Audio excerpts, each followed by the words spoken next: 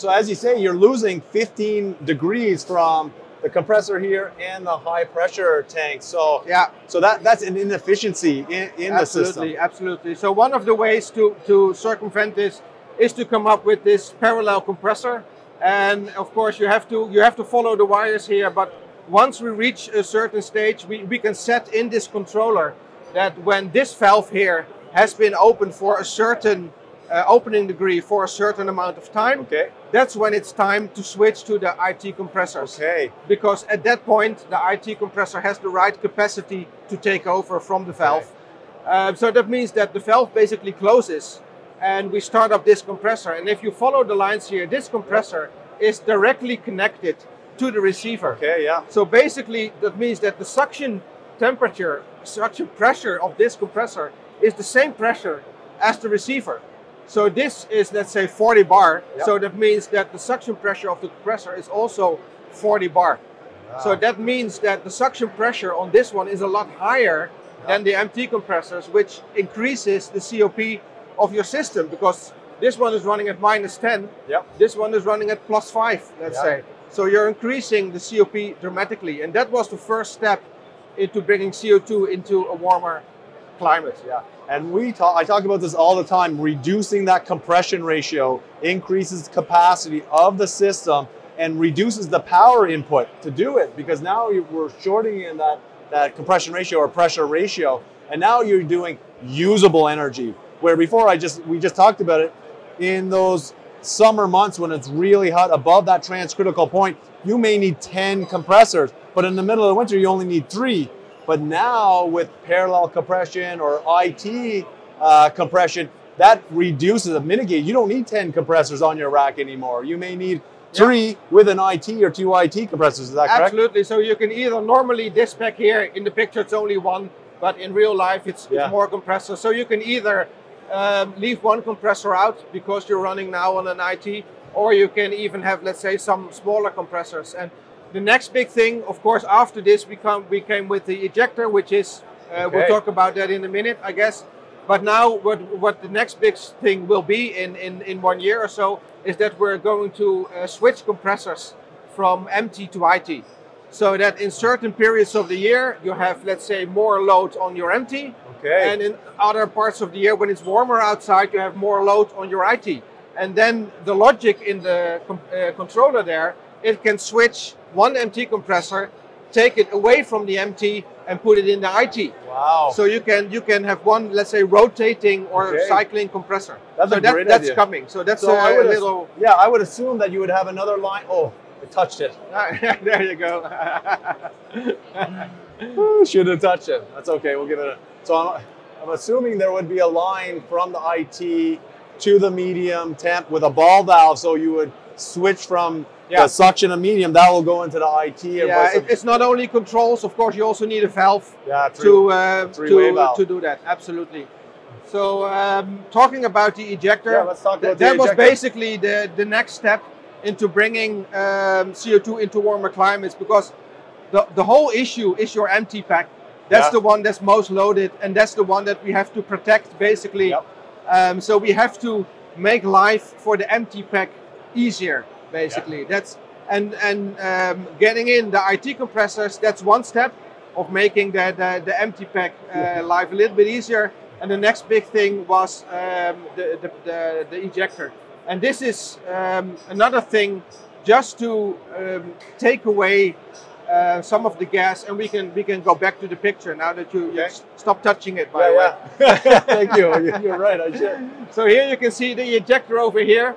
Um, if we have the ejector, you can leave out the high pressure valve here because Okay. it's basically it's taking over the, the life of the of the, the functionality of the, the high pressure valve because it's doing the same thing. But Okay. i- i- in the end, it is a nice shiny um, high pressure valve. Um, so we, ha- we have ejectors inside. You can see six solenoid valves here. So that means that there are six ejectors below this in different capacities, Okay. small to big. Okay. Um, first function of this ejector is high pressure valve, so it's maintaining the pressure inside this ejector. Okay. But also when the pressure goes up, um, so when when in the, the summertime. yeah, or in the summertime really or warm. during heat recovery, Yeah. uh, where we need to push up the pressure, that's when the, the, the speed through this ejector is so high, and we're talking super, supersonic speeds here. Wow. Uh, going inside through the, the gas cooler, outside to the receiver, then the pressure here is so high that it starts sucking in through this third port here. And this, Okay. this inlet, that's coming in the end from the MT suction. Okay. So that means that we're taking away gas coming from the MT suction and we're, use, we're putting it into the, the high pressure uh, ejector here.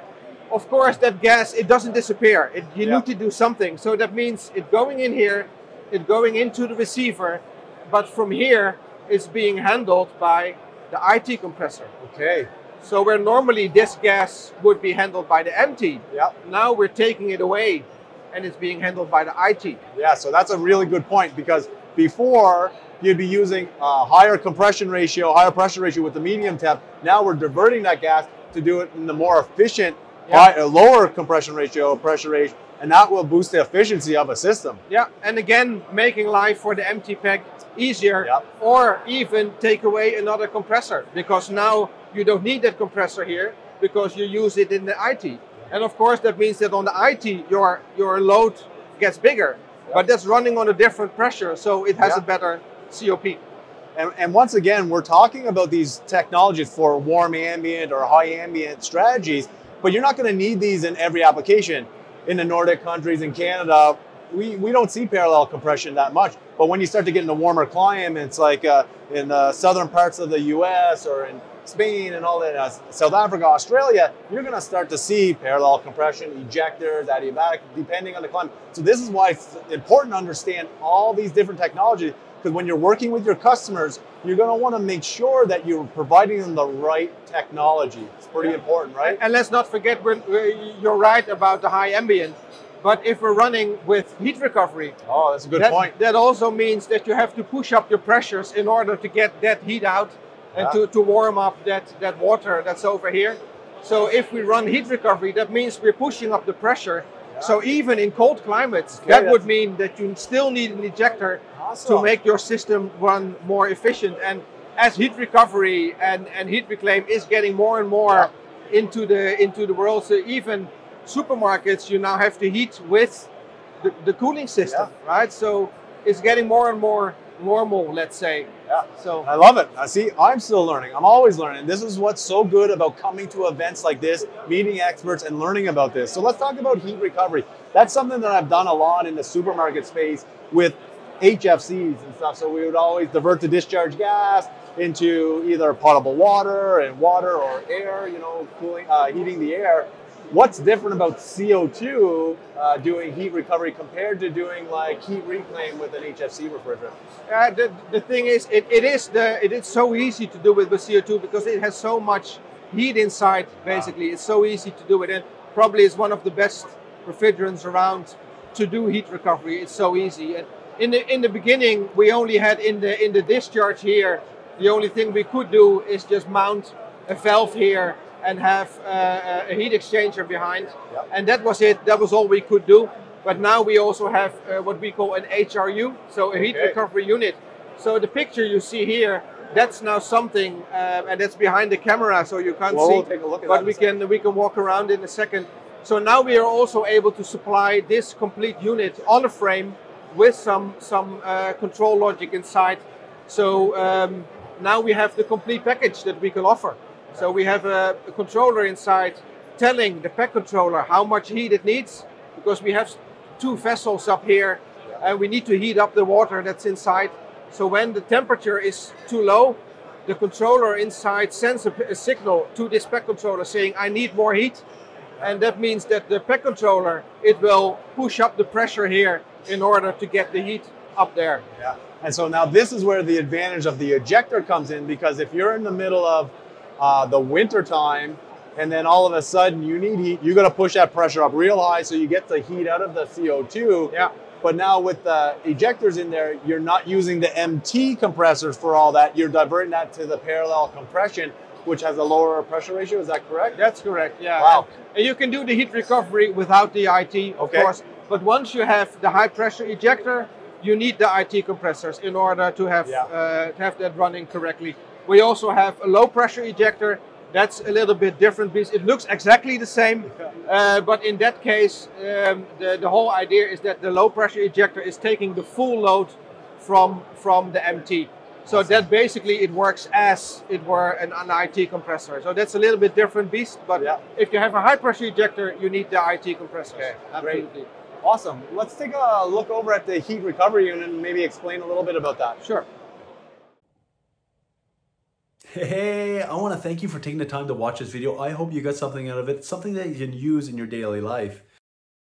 If you like this video, hit the thumbs up button, hit the subscribe button, and click the bell button because when you click the bell button, it will notify you anytime new videos are released. Also, check out the Refrigeration Mentor webpage at refrigerationmentor.com where I'll have all the different trainings, upcoming events, the different podcasts I've been on, as well as the Refrigeration Mentor podcast. If you want to check that out on Apple, Spotify, Google, any service provider of your choice. Super excited to see you at the next video. Now let's get a conversation going.